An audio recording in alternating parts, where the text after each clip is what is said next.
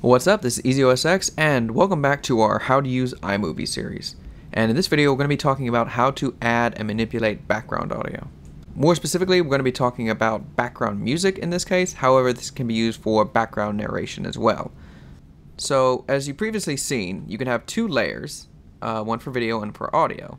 You can of course have an additional layer for picture-in-picture, -picture, overlapping video, effects, etc. But you also have this layer down below for background audio, again typically for background music. You can see by this little music symbol here. So if you want to add audio, you can of course go to Audio.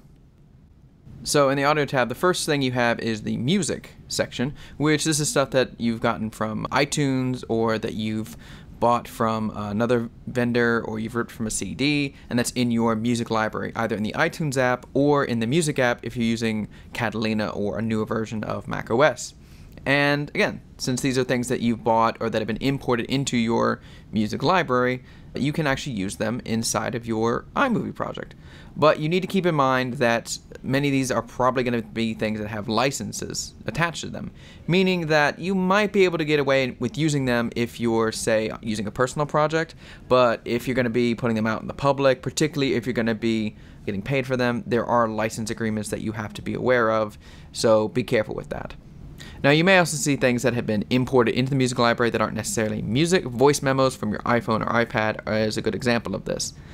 But otherwise this is primarily music that you've purchased and imported into your primary music library.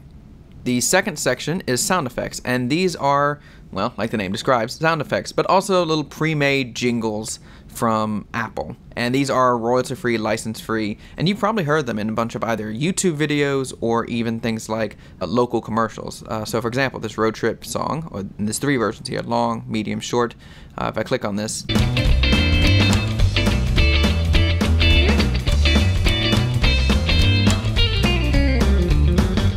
So you've probably heard this in, say, like a YouTube video where they're doing a, a road trip, as the name implies, or even something, say, like a, uh, a local car commercial.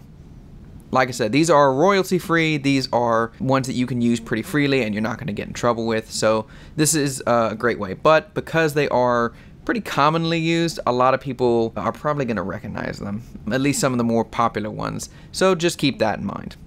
And there are also things like uh, sound effects and stuff, so you can get like sitcoms laughs, or clapping. So you get a couple other things. And you can see, of course, whenever that you play one of these things, you've got the waveform up here. And if you hover over it, you get to play some of it. And you can even see the line playing when you hit the play button.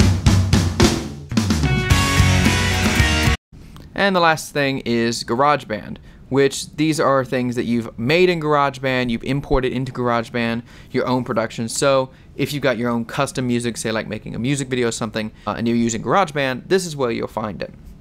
Now, background music can be a great way to spice up your video, give it a little bit more texture, a little bit more flavor. Keep in mind, it's not meant for every video. So this video, for example, being a tutorial video of connecting a switch, uh, excuse me, a switch controller to your Mac, this really doesn't benefit from having background music, but we're going to use this for example because this is the project that we have been using. Now I'm going to drag this yearbook long into the timeline, and you can see by default it actually is being added to as another audio layer on top of the uh, as the voiceover that I did. But I don't want it to be there. I don't want this to be messing with stuff. So I'm actually going to add it to this background. And you can see there's a, a line that has appeared. So now this is acting as a background layer. And so this is completely separate from whatever video that I've got. This is completely separate from everything else. And I can manipulate this without necessarily having to worry as much about what's going on in the main timeline. So if I play this. What's up, is EasyOSX, and in this video I'm going to show you how to make an so that works. Again, a tutorial video is not particularly a great place for background audio, but it's useful. Now, what you'll notice also is it's pretty loud. It's almost drowning out my voiceover. So we need a way to lower the audio. And there's two ways to do this, the easy way and the more professional controlled way.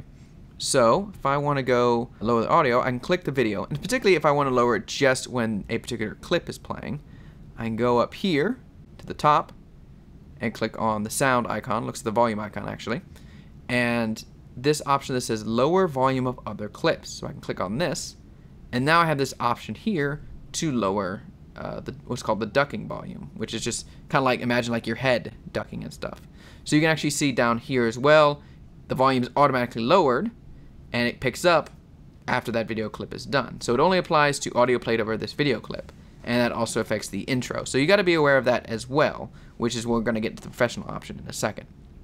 So if I play this now, What's up? It's and in this video, I'm going to show you how to So yeah, you can see that the background audio is definitely lower, but so is my voiceover, which is not what we want exactly.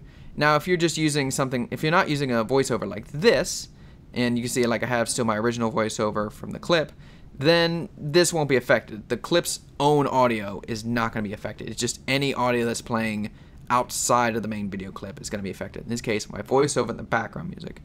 And you can also see when the clip finishes, the audio fades back up.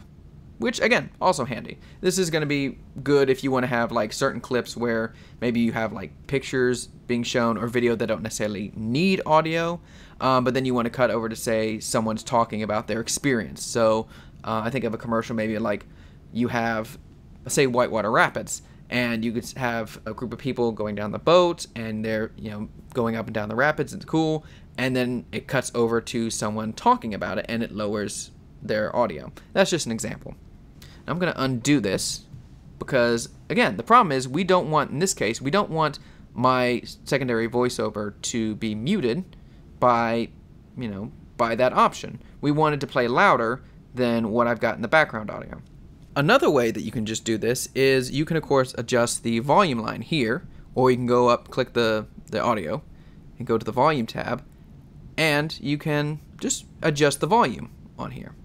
Up and down, you can see that the waveform, same thing if you grab this little line here and drag it up and down.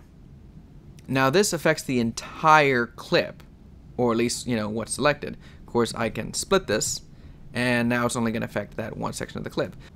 But this is going to be really annoying if you're trying to you're trying to like have certain times where it lowers and falls and then you're you know you're you're separating clips and stuff. That's not really helpful.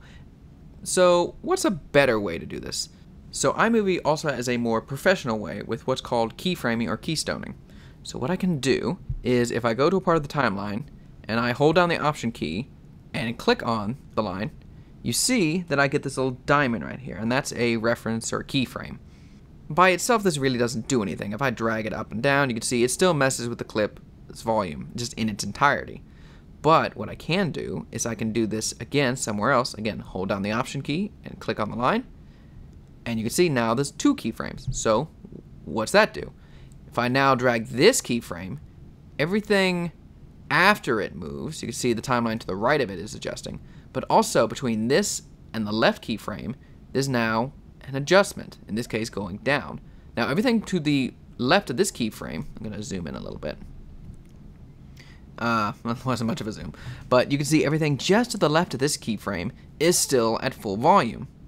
And actually, I can move this keyframe left or right, and you can see the audio adjusting. So everything to the left of this keyframe is staying the same, and then everything to the right of the second keyframe is staying the same, but everything in the middle is now adjusting so you can see if I do this, you see the audio adjusted up a little bit. So now we actually have a fade in or fade out, depending on how you want to look at it. So if I hit the play button now, What's up? It's EasyOSX, and in this video, I'm going to show you. So that actually kind of faded out just a little bit, and I can elongate that a little bit. Let me adjust it here so you can tell a little bit more. I'm going to extend this over a little ways. So if I do this. What's up? It's EasyOSX, and in this video, I'm going to show you how to connect. So, now, everything before is at full volume, and then it fades down, fades out a little bit, and it's still going when I'm speaking. I'm going to show you how to connect to but it's not overwhelming. You can now hear me speak much better. And we can do the same the other way. So this keyframe is going to continue up until, let's say, about here. Then I'm going to do another keyframe here. There we go. And drag this up. There we go. So now, Joy-Con to your Mac. So it does just the same thing. But now I have an easy little fade in and fade out. And of course you can do this in other places in the timeline. So you kind of want to just make sure, depending on what you're trying to do, that you're generally going to have to use two keyframes for every transition. One that's going to be kind of like the stabilizer or like the start point, and then one that's the end point. So where is this useful? So an example might be if you've ever seen like a TV show or listen to a podcast, something like that, you might have noticed like they start with some music and then the music starts to fade as people start talking or the people come on screen depending on whether you're listening or or uh, watching something. So this is a great purpose for it. And same kind of thing if you're going to have a uh, you have someone talking and then you want to cut over to maybe like a montage of someone doing some sweet tricks or uh, or just like the scenes of people just kind of interacting in their daily lives where their audio doesn't really matter so that's a place where you you can really use these keystones and keyframes to your advantage. But that's going to be it for today, guys. Thank you so much for watching. If you like this video, please give it a like, share it around with your friends. And if you want to get more Mac tips, tricks, and advice, you can subscribe to the channel, as well as check us out on our website, easyosx.net, as well as on social media. Thanks again for watching.